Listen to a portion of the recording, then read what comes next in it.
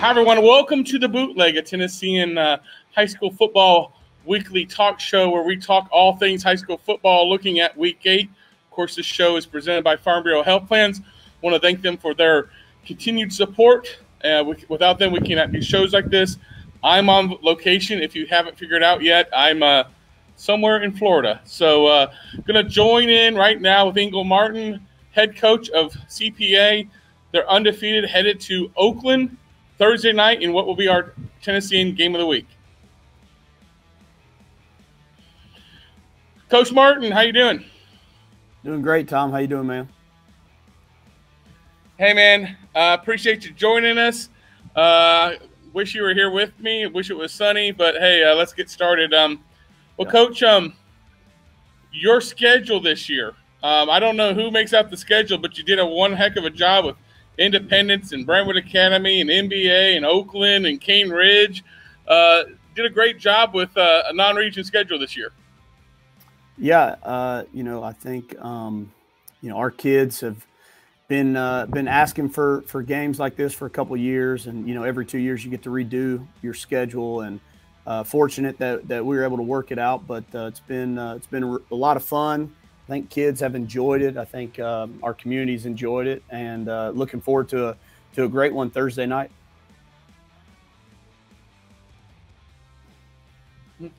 Uh, Coach, just jump right into to Oakland. I mean, it's arguably the number one team in the state. Um, you know, they have put on a show at times. I mean, we got Jordan James and Antonio Patterson and Isaiah Horton and a really good defense. Um, just talk about the challenge they provide you this week. Well, uh, you know, defensively, um, you know they've got they've got players everywhere. Obviously, Coach Creasy and his staff uh, do a great job. Those kids play really hard. Um, I think anytime you can turn on film and see uh, a group of kids flying around, um, you know that they're getting coached well, and uh, they certainly are on defense. And then offensively, you mentioned the the James kid. Uh, he's a he's a great player um, and, and he's got a lot of support around him. And uh, Coach Creasy does a great job at what they do. Um, you know, does a really good job getting his players the ball, um, getting them the ball in space, figuring out where he can outnumber you, and and and then just letting them go play football. But uh, you know, uh, Thursday night's going to be a great matchup. Um, you know, they're they're going to have a, a, great crowd. I know. I think Rutherford County's on fall break uh, with uh, with you maybe hopefully they're all down in Florida and, and, the crowd won't be too big of a factor. But uh, we'll see what happens, man. Re- really excited about the opportunity. Um, I can confirm they are in fall break. Um, what um, when you guys schedule an Independence in a BA and an MBA in Oak, Oakland and Cane Ridge, obviously that does nothing. I mean, it's all those aren't league games. I mean, this is a chance to kind of see what you guys are, are like against some of the top teams. But I guess also a part of that is you're probably having a hard time finding games anyway. There's not a whole lot of teams that are standing in line saying, "Hey, we want to play you." Yeah, I, th- I think the uh, the biggest thing is we've got administration here that uh, that believes in what we do, and I don't have people breathing down my neck about losing non-conference games, and, and I think a lot of a lot of coaches uh, feel pressure from their administration to, to make sure they don't lose any games, and so for us, uh, uh, you know, our, our people, our, our, head of school, Nate Morrow, just wants our kids to, to enjoy their experience and, uh, you know, play great competition. And so uh, we've been able to do that. Um, and, and this schedule has been awesome. You know, we played some really good teams in the last couple years.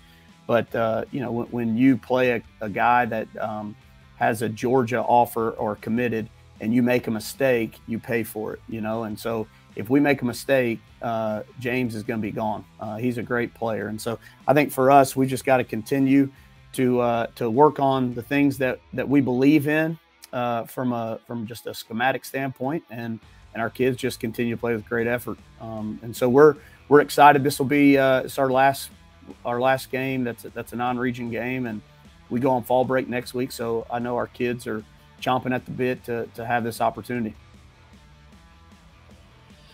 Uh, Coach, um, obviously this this gets you ready for. I mean, with your schedule, it gets you ready for the for postseason play. It's going to get you ready for the, you know, if you're fortunate enough to play the Lausanne's of the world, the the, the Lipscomb, which you'll play them in a couple weeks. The, you know, some of the top teams uh, across the state that you might be fortunate enough to play in the playoffs.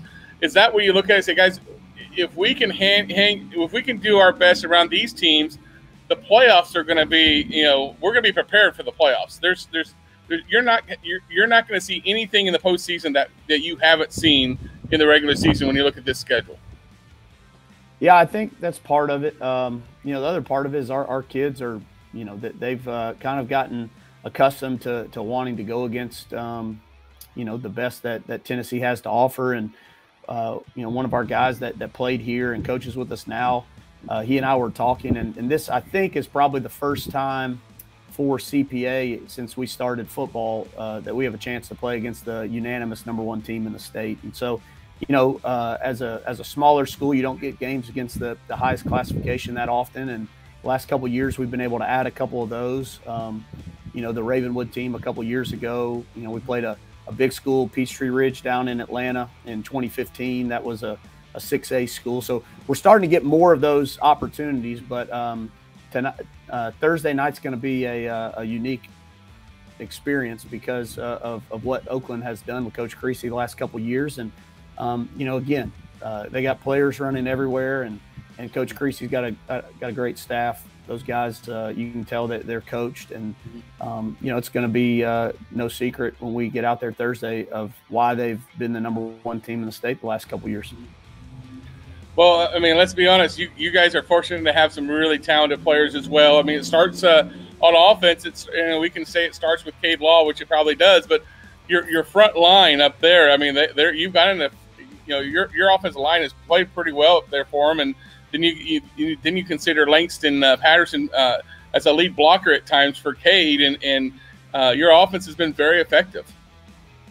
Uh, it has been. Um, you know, I think our, our kids, uh, just like everyone else's, they, they've been working since the summer and uh, trying to get a little bit better every week. Um, and again, we talk about the schedule, but but when you're going up against Brentwood Academy and, and their scheme and MBA and their scheme with their players, um, you know, it, it, definitely exposes some some weaknesses that you have. And so um, we've been able to work on those things, been able to um, hopefully refine them. And uh, Thursday is going to be a, an unbelievable test um, because again, when you make a mistake with with the players that Oakland has and, and the way that they play, uh, you know, it's a it's a minus two game. Um, you know, it's a it's a no gain. It's a man, I thought I had five yards and I got one because we slipped off of a block. And so um, we've got to learn to, to finish all that and uh, play through contact and, and hopefully be falling forward Thursday night. This right here, um, you, you look at, you know, it's the number one team in Division two AA versus the number one team in 6A. and according to the AP polls, it's one versus six in this week's uh, Super 25 poll in the state. So, um, you'd like to think there's going to be a lot of hoopla there for you guys. How do you how do you get them to stay calm and realize, hey, at the end of the day, this this means nothing for your overall goal, which is to be playing in Chattanooga in December. Yeah, I think uh, you know our, our kids are kind of used to that uh, way of thinking, and you know this group of seniors has played in some big football games, and um, you know a bunch of them started as sophomores, and so they, have got a lot of game experience. They've got a lot of big um, you know, big game experience. I, I was going to say Friday night, but this is a Thursday night game. Um, so, you know, this is going to be no different. I think Oakland's going to play with tremendous passion, tremendous energy. Um, you know, you can see their crowd gets into it. They've got great support there.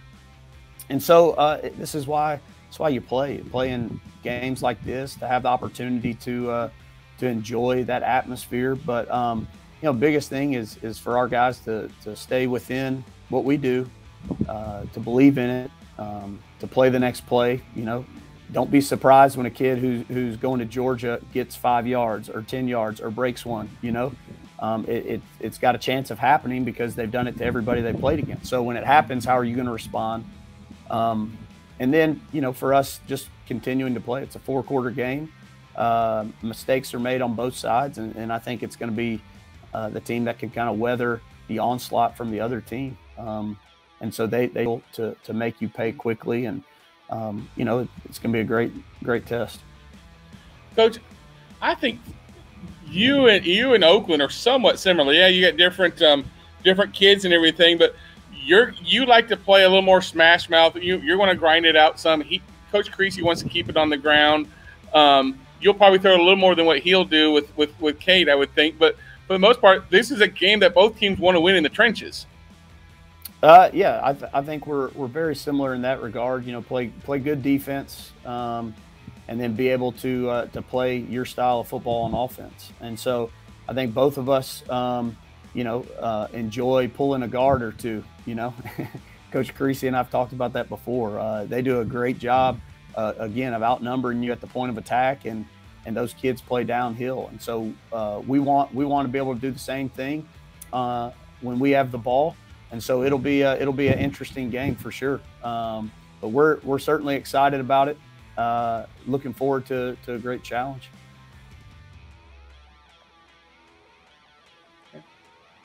Well, Coach, I will hopefully see you Thursday night if I get through all the rain and everything heading back uh, Thursday. But um, good luck Thursday, and uh, hope to see you on the sidelines. And um, uh, then after that, you, you, all get your own chance at some fall break. So.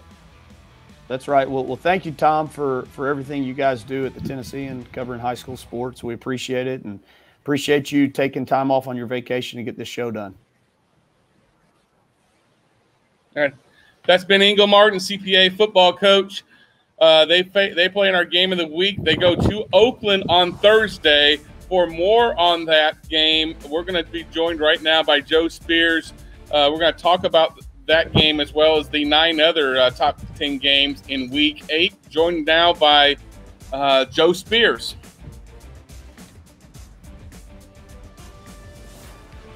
Joe, how are you doing? I'm do- I'm doing well, Tom. How are you? I'm doing fine. Um, if you want to go gloat right now, I'll give you I'll give you uh, 15 seconds of gloating uh, if you want to about this week's uh, this last week's picks. Uh, I mean, neither of us did great, but one of us went four and six, and the other went six and four. So I'll, I'll take my two game lead uh, into what should be another good, great week of games.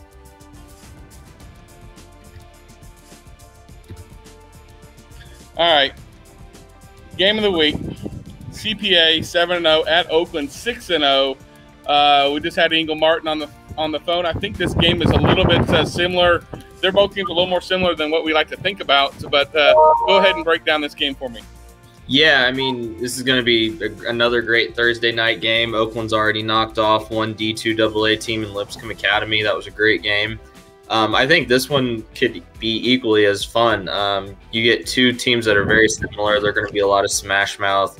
Uh, Cade Law is playing really well at quarterback for the Lions, though. I mean, he had a big game last week.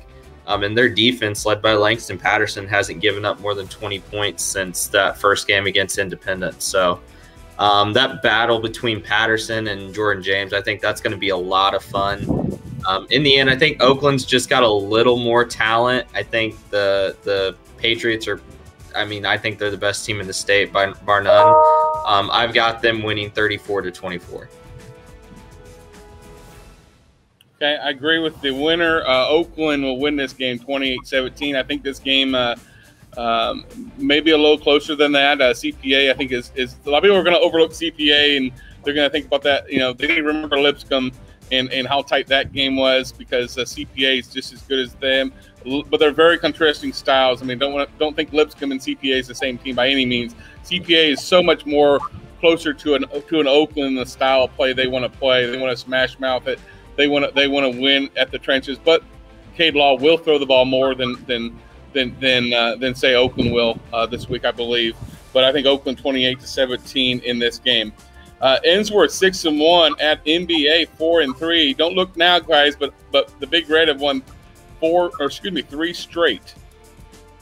Yeah, and this one's really going to come down to if Marcel Reed plays or not. Um, he injured his shoulder last week. They were still able to gut out that win against PJP. Um, but I talked to him after the game. He said he's going to go get X-rays. Uh, hopefully, it's nothing serious. But um, it was his throwing arm. Uh, he he got hit late. Uh, that wasn't really late. He got hit throwing the ball and just went down on it, and there was a pop. So hopefully, it's nothing big. Um, they take on an Ensworth team that's playing really well. I mean, they're probably one of the best teams in D2 uh, AAA. Uh, Levi Moore and that duo, Shamar Porter and Jacob Page. Um, it, again, I think this really does come down to if Marcel Reed plays. Um, if he doesn't, I think the Big Red could be in a lot of trouble. Regardless, I think Ensworth is just too talented. This team has a lot of weapons, so um, I've got Ensworth winning 31 to 17. Uh, spoke with uh, Rod Reed um, briefly on on uh, Twitter through DMs uh, this weekend. Uh, X-rays were negative. Uh, he is Marcel will be day to day, and he's got bruised ribs, so we'll see how it goes. Um, I think he'll play um, if he's if he's healthy. If he can, if they don't have to, if he's not 100, percent I don't think there's a reason why to play him because this is not a region game. This is for bragging rights. But the big you got to think big picture if you're MBA. I think I think if, if there's a chance of that he gets hurt any any worse, I don't think you play him at all.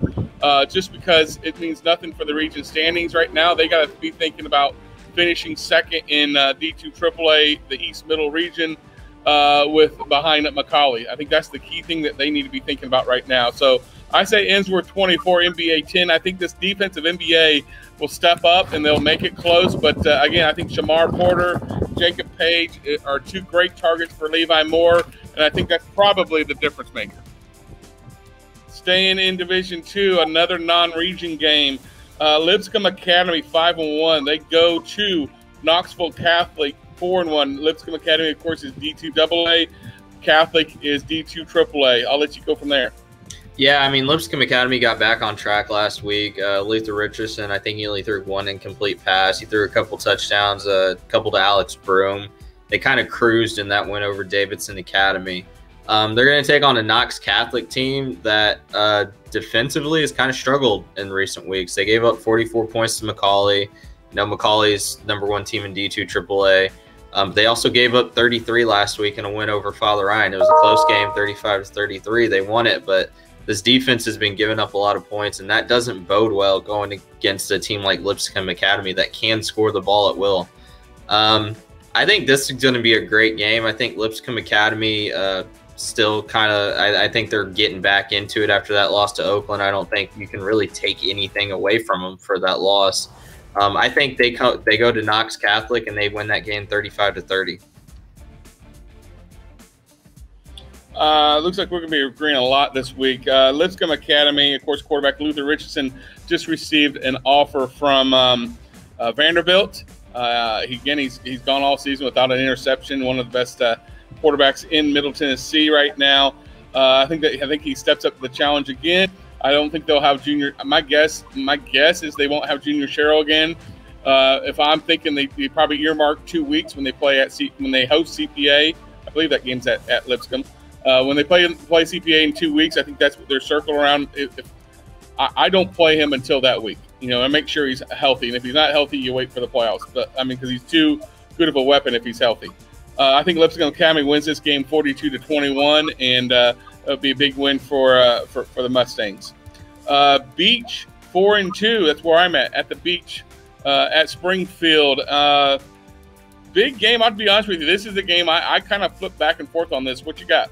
Yeah, I I completely agree. I mean, Springfield had a, a win over Henry County last week, six to three. Um, their defense is playing really well.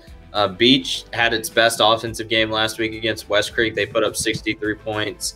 Um, I think this is going to be a lower scoring game, honestly. I mean, you got two really good defenses.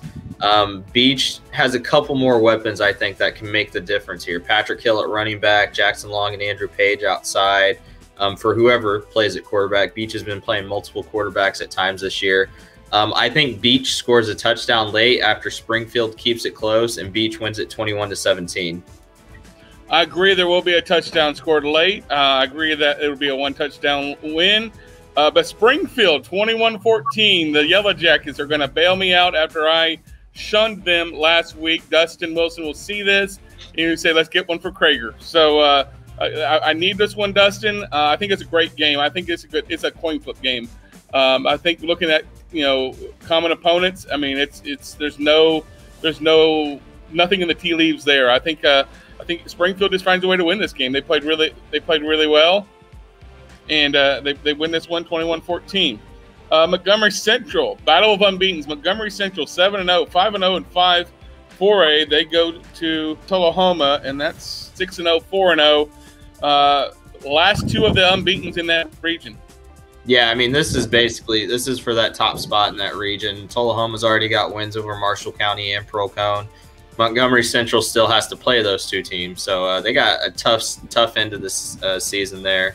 Um, I, Montgomery Central's played really well, but when you look at their schedule, they've beaten teams who are combined seven and thirty-five this season. So they haven't beaten those top-tier teams like Tullahoma has.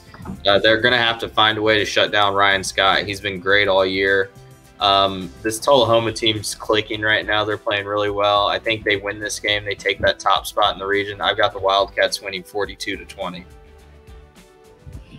As much as we talk about Ryan Scott and Keyshawn Cummings, I think we got to think about this offensive line at Tullahoma. They're huge up front. Ian Poe, massive, uh, kind of leads that that line. I think um, maybe four starters, maybe all starters were back from last year, but they're they're huge up front. Uh, Tullahoma's playing really good football. They're at Tullahoma. It's a long road trip from Montgomery Central in, in the Clarksville area. Uh, Tullahoma wins this game 35 to 14. Staying in Region 5 4A, we got Pearl-Cohn 6 and 1, 3 and 1 in the league. At Marshall County 5 and 1 and 3 and 1. Uh, two very um, different type of, of, of teams um, both teams, whoever wins this game, I think will end up being number two. Yeah, I, I completely agree. I mean, they both had narrow losses to uh, Tullahoma. Pearl uh, lost in heartbreaking fashion. Marshall County as well. Um, like you said, two very different teams. I mean, Pearl-Cohn, they're going to rely on that run game and Barion Brown. Uh, they're using him a lot at Wildcat. They got back uh, on the winning track last week with an easy win over Glencliff. Marshall County's played a lot of really close games, and they found a way to win them all except for that Tullahoma game. Um, this is a different challenge, though. I think trying to find a way to stop Barion Brown and the rest of that offense is going to be something that they haven't had to face this year. I think Barion's in for a big game, though. I've got them winning 38 to 17. I think this is a game that if we, if we could see this, this would be the the ultimate test and why Barion Brown I think should be Mr. Football in 4A I'm going to predict he run for a touchdown, catch a touchdown, and he's going to throw for a touchdown tonight this week. Would not he might even throw to himself. Who knows? But that's. That's that just tells you how important Barion Brown is to this Pearl-Cohn offense. He has done everything. Uh, his receiving yards are down, but they've they, you know he, they haven't the quarterback and him haven't really meshed yet. Uh, he's doing a lot of wildcat stuff, uh, just trying to get him the ball. Uh, Pearl-Cohn wins this game in a tight one. I think um, uh, Coach Osteen, Thomas Osteen's done a great job with that. Devontae Davis at quarterback's done great job there of filling in there with it when when their starter got hurt. I'm saying 28-21, Pearl-Cohn over Marshall County. This right here is another intriguing game. Gordonsville 7 0 at Trousdale 6 0. Folks, this is a, a week where we have a lot of teams that are off. I give Joe Spears credit for finding 10 great games this week. Thanks. I appreciate it. Uh, this was one that is very, like you said, it's really interesting. Gordonsville's playing really well. They've played a lot of close games, but a lot of it has to come down to their quarterback play. Matthew Albrighton's been really good for him, completing 71 of his passes uh, for like uh, for close to a thousand yards and seven touchdowns. Um, this Trousdale County defense is going to be his biggest challenge, though. They've only given up 76 points. They gave up quite a few points to Harpeth last week, um, in a game. They were they they kind of cruised in that one. Um, but I think you're going to see a lot of Bryson Claiborne on Trousdale's offensive side uh, to keep Albrighton off the field. I think this is going to be a tight one, but I think uh, I think Trousdale County in the end comes out on top, 23-16. I think it's a low, very very low scoring game. I think this is a defensive battle. Trousdale County wins this game 14 to 7 over Gordonsville. I think it'd be a really close game. This will be a packed house at Trousdale County with two big football rivalries, and uh, an unbeaten team will go down this week. Uh, Wilson Central, we're going into our Wilson County segment of the uh, show. Wilson Wilson Central five and two, two and two in five five A. They go to Station Camp six and 0, 3 and zero, oh, coming off a huge win over Mount Juliet and uh, stayed undefeated there. What do you what do you know about this game there? Joe? Yeah, like you said, Station Camps off to their first six and zero oh start since 2006. They overcame a two de- a two touchdown deficit in the final eight minutes to beat Mount Juliet. Uh, it was a great game. You and I were both there. We saw it. The Station Camp team can play. Uh, they got a really good running game, and that defense uh, plays well. Uh, Mount Wilson Central also played Mount Juliet close, but they lost 14 to seven in that game. So a couple of teams that played Mount Juliet really well. Um, a win for Station Camp here. I mean, essentially they're in the playoffs at that point. Uh, they're playing really well. Uh, that defense is as good as advertised, I would believe. I, two of Mount Juliet's touchdowns were defensive touchdowns. They only allowed one offensive touchdown. Um, I think their defense steps up in this one too. I got Station Camp winning 24 to 14. Uh, I think it's a tight game. I think it's a lot of uh, nail bite. I think another nail biter. I got Station Camp winning this game 17 to 14 over Wilson Central. Last game, again, we're staying in Wilson County. Mount Juliet six and one, th- three and one, and they're at Lebanon six and one, three and zero. Oh. Uh, I believe those are different leagues, though. Uh, what do you got in this game? Yeah, Mount Juliet coming into this one off that loss, like we mentioned, uh, their offense needs to figure something out. They they were they struggled a lot in that game uh, with Station Camp, and Lebanon's only allowing 13.2 points per game this season. So I mean, uh, the their their defense is playing well. It's going to be another stiff challenge for Mount Juliet. I think I think Steven Swanner gets he he rebounds at quarterback. He had kind of a, he struggled a lot in that Station Camp game. Um, I think he rebounds in this one. Mount Juliet wins a close game. I got them winning 28 to 24 in my haste of trying to speed up the show as I'm getting rained on at the beach, yeah, go figure, I'm getting rained on. I missed a game. Independence three and four, two and one in Region Seven Six A. At Summit seven and 0, 3 and 0 in uh, league play. Summit's coming off a huge win at, at Ravenwood. They can uh, take a big step of wrapping up this league if they haven't already uh, with a win. Um, what you got? I I mean, you wrote about him last week. Can Independent stop Destin Wade? Nobody's been el- nobody's been able to. Uh, I thought Ravenwood had the best shot at it, and he still ran for almost 300 yards in that game. Uh, Destin Wade is playing incredible football right now. So is his brother. This Summit team's made a seamless transition to 6A. Uh, Independence has played uh, okay at times. They've struggled in their losses, giving up more than 40 points per game in those losses outside of Brentwood last week lost a heartbreaker in that one. Um, I just I don't think they have enough on defense to stop Destin Wade. I don't know if that off- offense can be consistent enough to keep this game close. I think Summit rolls again. They like they have been all season. I've got them winning 48 to 24. Summit. Uh, Destin Wade won my vote for Mr. Football. Um, we'll see if anyone else can up up uh, up tick him or up uh, outdo him. Uh, I think I think Destin Wade and Keaton Wade are definitely the, the, difference makers in this game. But let's not forget the big guys up front. I think four out of five uh, starters, I believe, came back this year, uh, and that's a difference maker. Uh, as good as what Keaton and uh, Destin were last week uh, in the backfield, that line is makes makes plays for them to give them a chance to break a, break a play there. I think I think Summit's run game is going to be way too much for Indy. I think Summit wins this game 49 to 14. Uh, Indy's got a, just a brutal schedule. We talked about you know CPA about their schedule, but uh, Indy's been tested. If they can get, as long as they get in the playoffs, I think they'll be fine for a couple rounds. But uh, yeah, it's a tough, tough, uh, uh, tough schedule for Indy. 49-14 uh, Summit over Indy in our last game. Uh, we'll have someone there Friday night. Won't be Joe Spears. I give him a Friday night off since he's got a two-game head lead on me. you're welcome. Appreciate um, it. But uh, that does it for this week's bootleg. Uh, I will be back uh, in the States next week, I hope. Um, and Joe, I will uh, talk to you next week. All righty. You've been watching the bootleg presented by Farm Bureau Health Plans. We want to thank them again. Without their support, we cannot do this show and other cool things like we try to do all season long. Farm Bureau Health Plans, we appreciate your support. We'll see you next week.